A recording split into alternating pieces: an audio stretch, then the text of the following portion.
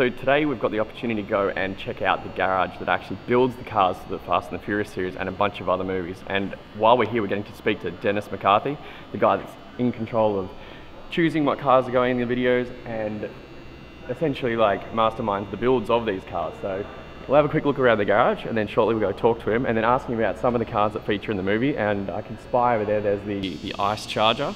Um, and we're going to speak to him specifically about that vehicle. It's one of the, the, coolest ones here. They made, I think, seven of them for the movie. So this one here is one of the stunt ones. It has uh, exploding bullet things that come out of the, the, hood and stuff. So we'll have a quick look at that after we've had a look at some of these cars that you can notice uh, from the original um, one, two, three uh, movies. And uh, all right, let's get to it.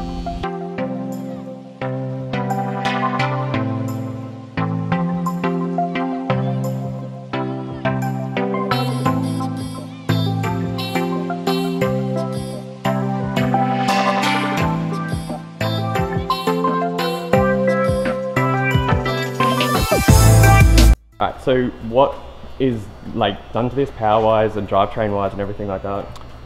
So this is basically a 500 horsepower crate motor hooked to a, a Turbo 400 transmission, uh, going through a company named General Driveshaft that builds all of our drive lines, to a uh, Moser 9-inch center section, uh, Currie housing, 35 spline axles, Detroit locker, Atlas transfer case, uh, Sparco seat, uh, Racepak dash, um, you know, if you come to under the hood of the car, this is our uh, what's called our, our bullet card. So you have all the explosive that are, that are wired in to uh, be uh, deployed at uh, you know the, the command of special effects. And you've, you've pushed the engine all the way back to weight distribution. We basically it wasn't even so much for weight distribution. We had to push the motor all the way back to give us clearance for the front differential. So gotcha. you can see we barely have it. It's all. So is that another nine inch or something? This is exactly true. There's another a nine inch front center section. This is a Currie housing.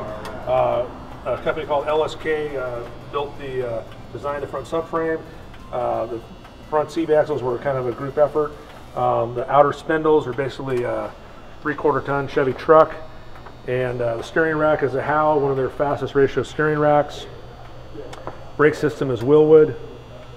Um, and like I said, you can see it's all uh, packaged very tight. Oh, the Fox, uh, Fox fully adjustable coilover shocks, um, which like I said, out there on the ice, it was you know anything but flat. So it was uh, yeah. a lot of suspension tuning and everything else to make it you know handle the way we wanted to and stay on the ground as it, as it should.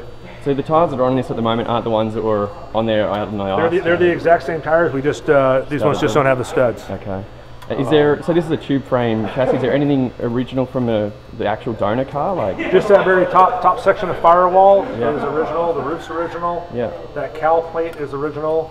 The panel between the back window and the uh, deck lid is original, uh, and that's it. You know, everything else you can see from the front clip forward, everything is our own front fenders, our own chassis. Um, you know, the car basically is set up right now with uh, no front sway bar. We put a huge rear sway bar in the car just to give it the uh, oversteer, uh, you know, characteristics that we want to see in a movie. Um, and like I say, which is pretty rare to have no front bar in it, but it was just like I said, we took the car out, and that's that's how I like to be. So yeah.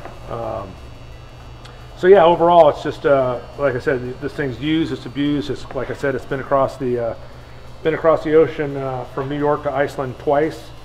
So uh, you can see that it's kind of taken its toll on the uh, on its good looks, but uh, you know it still works, still runs, still does everything it could do mechanically that it did, you know. So they're not really even pushed that hard. The, the engine could take a hell of a lot more, I suppose. It's kind of. Oh no, they push it all the way, man. They are. Oh, I mean, if they didn't have a rev limiter, they would they'd all explode uh-huh. for sure. Yeah. No, when you're out there, man, they are literally.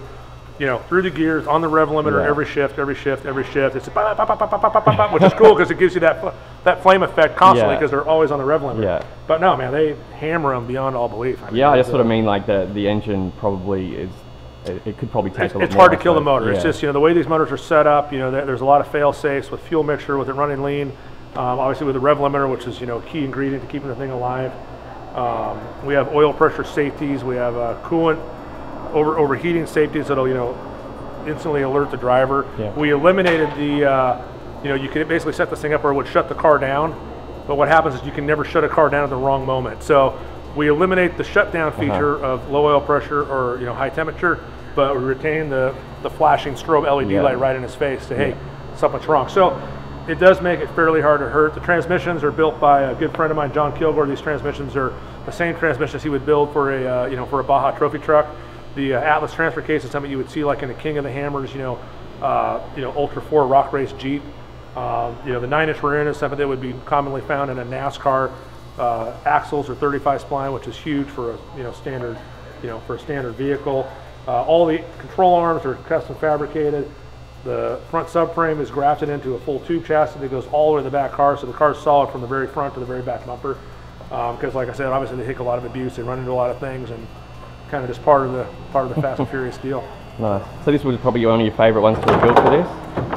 Yeah, it was. Yeah, these things were just. It was just neat to build the. You know, I mean, obviously everybody loves the uh, the Ken Block uh, the video. You know, and I mean, it's kind of obviously this car kind of take took on that look, not so much intentionally, but just really by uh, by necessity. Just because, like I said, to package everything under there, you have to widen the track width. Yeah. But uh, it it definitely has that same type of a feel, and like I said. Uh, I've used that uh, Ken Block video numerous times with his Mustang just as a pitch, you know, in a meeting. we need to do this, you, you know. Yeah. So uh, it's uh, I, I definitely owe him some thanks for that. And uh, you know, like I said, this car is, I think it's just gritty, mean, angry. You know, it just kind of fits, uh, kind of fits where where Dom's coming from in uh, the third act of the film. Does it have any mufflers at all? Because it's not even as loud as I was expecting. For it looks straight. It really but- doesn't. I mean, it's kind of a double wall pipe in the you know uh, tip there on the end, so it does somewhat muffle, but no, it's really not Okay. muffled at all. We've also uh, used heat wrap all the way under the car up through the back, which does help quiet the car down, and uh, you know keeps anything from catching on fire.